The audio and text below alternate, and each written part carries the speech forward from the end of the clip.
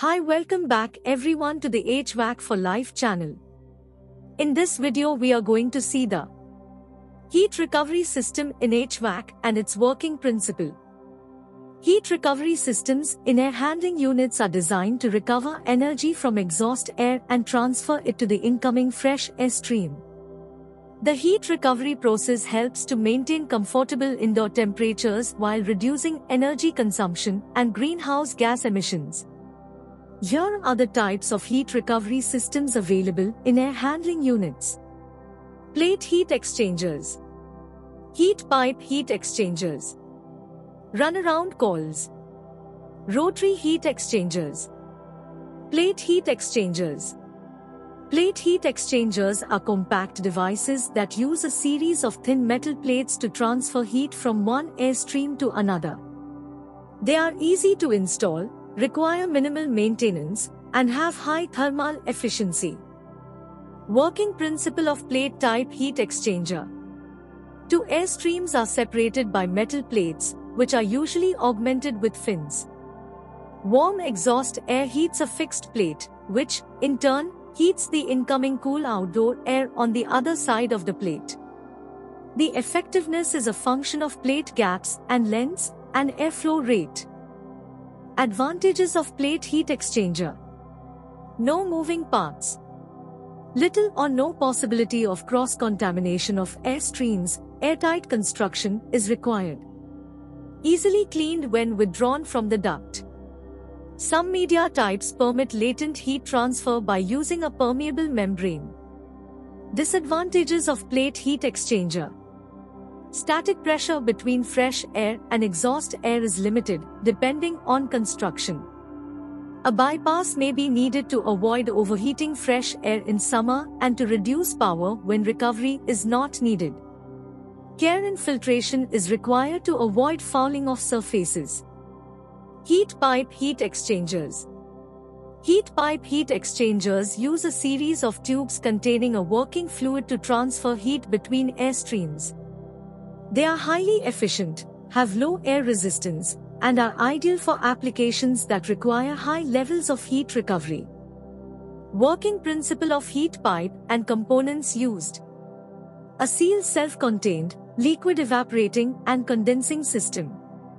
Hot air passes through the evaporator section and the cold air passes through the condenser side in a counterflow arrangement. Made of a material with high thermal conductivity. Example, copper or aluminum at both hot and cold ends. Working fluid, or coolant, is normally class I refrigerant, CFC. Advantages of heat pipe. Robust construction. No moving parts. Relatively high pressure difference between air streams is possible, limited by baffle separating plate. Little or no possibility of cross-contamination of air streams, airtight construction is required. Relatively high heat transfer rate. Disadvantages of heat pipe. Relatively high capital cost. Sensible heat transfer only, except when condensation occurs on heat pipe surfaces in warmer air stream. Bypass duct needed in summer to avoid overheating fresh air in systems without air cooling. Control by tilt mechanism may be too expensive to justify. Runaround coils. Runaround coils consist of two separate coils containing a heat transfer fluid that flows between them.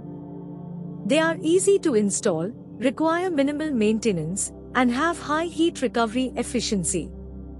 Working principle of run-around coils. Fin-tube copper coils placed in supply and exhaust air streams.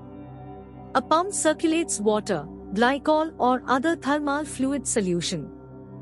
The system utilizes the energy from the exhaust air stream to precondition the outdoor air. Can increase overall HVAC system effectiveness from 50% to 70%. Advantages of run-around coils. Suitable for existing ductwork systems as it does not require adjacent fresh and exhaust ducts relatively low capital cost compared to other systems. No possibility of cross-contamination of air streams. The number of rows and fin spacing can be selected to suit the required heat transfer rate, permissible air pressure drop and exhaust air contaminants. Disadvantages of run-around coils. Sensible heat transfer only, except when condensation occurs on the coil in warmer airstream. Relatively low heat transfer efficiency, typically 45% for a high-quality unit circulating pump and additional fan energy consumptions or running costs must be offset against heat recovery savings. Rotary heat exchangers. Rotary heat exchangers use a rotating wheel or drum to transfer heat between airstreams. They are highly efficient and can recover both sensible and latent heat. Working principle of energy transfer wheel. A rotating wheel which allows sensible and or latent heat transfer between the incoming outdoor air and exhaust air in an HVAC system. The air duct connections are arranged so that each of the air streams flow axially through approximately one half of the wheel in a counterflow pattern. The range of heat recovery effectiveness is 70% to 80%. Cross leakage through the energy recovery wheels ranges from 2% to 5% between the supply and exhaust air streams. Advantages of energy transfer wheel. Some wheels can transfer both sensible and latent heat. Relatively high heat transfer efficiency, till the 70%, compared to other air-to-air heat recovery devices. Low energy consumption of the electric motor rotating the wheel. Matrix material and density can suit a wide range of applications. Can be used for either heating or cooling applications. Disadvantages of energy transfer wheel. Regular air filter maintenance and replacement is essential as the wheel is difficult to clean. Static pressure in the fresh air stream must be higher than that in the exhaust air stream to limit cross-contamination and for successful purge operation. Thanks for watching. Please don't forget to subscribe the HVAC for Life channel and press notify icon. For more HVAC related videos, please share with your HVAC community. See you on next video. Thanks bye.